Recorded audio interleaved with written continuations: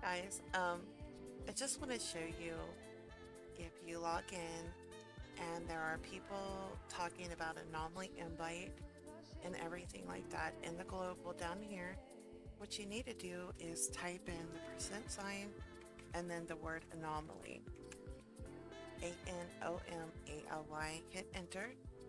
You're gonna see a little box pop up right over here in the right hand corner and it will say Essence Anomaly heading. You want to hit yes.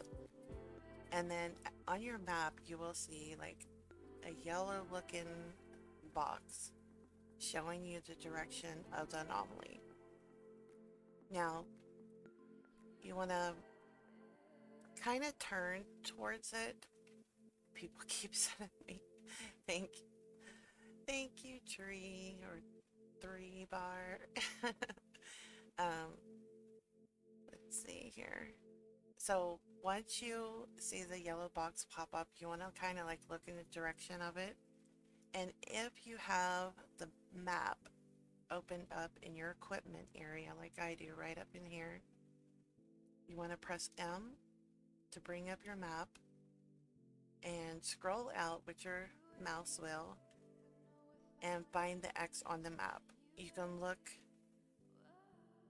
by pressing the W, the A, the D, the S, you know, to like scroll side to side and everything up and down on the map until you find the X.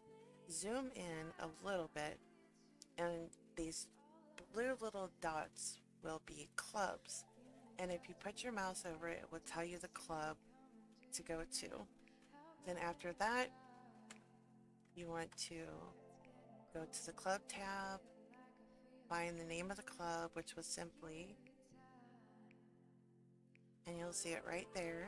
And then you want to click travel to it. And once you click travel to that club, head in the direction of the yellow box. Now, in the meantime, you also want to be in the global asking for an invite to a party. Because once you get an invite to a party, you'll have a party list pop up like I do right here and you'll see all the people that had joined and you want to pay attention to party and global to see if anybody had made it to the anomaly.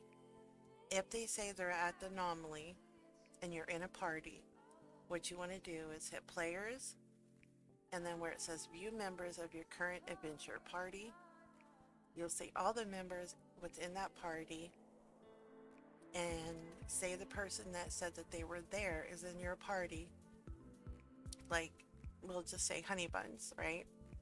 Then what you can do is you could quick travel to them. That way you can get here really fast and you can experience the, the anomaly and get your essence and once it's over with you can go on with your day. The anomaly looks like that glowy looking thing going around and around and it will move it will say it is moving and then you will get a bunch of essence. And if you want to know how long the anomaly is still available, you can go to your system on the chat system and it will tell you how long the anomaly is still up and it says eight minutes left just to make sure you have time to get there you always want to make sure that you get to the anomaly because it helps so much with your essence over here. And that is basically what allows you to purchase stuff in your equipment area. Right now I'm going for the Seahorse, I believe, which is 25,000 essence. And then I have to also get 2,500 Mediterranean essence.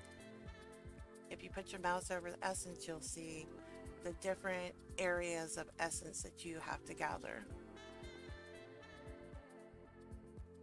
But yeah, anyway, I hope this kind of helps a little bit about the anomaly and everything. If there's something that I missed, please feel free to ask below in the comments. But that's pretty much how that works. And when you're done with your party, you can just go to player and then view the venture party, scroll down at the bottom, and leave party just like I just did. But until the meantime, just chill a little bit, wait until the anomaly moves and disappears completely, get your essence, and you can go on with your day playing the game, having fun. Alright, I just wanted to get a video out on the anomaly thing, and I hope you guys enjoyed it. And if you did, leave a like um, down below, or or not, or a dislike, doesn't matter. And I will talk to y'all later. Bye, guys.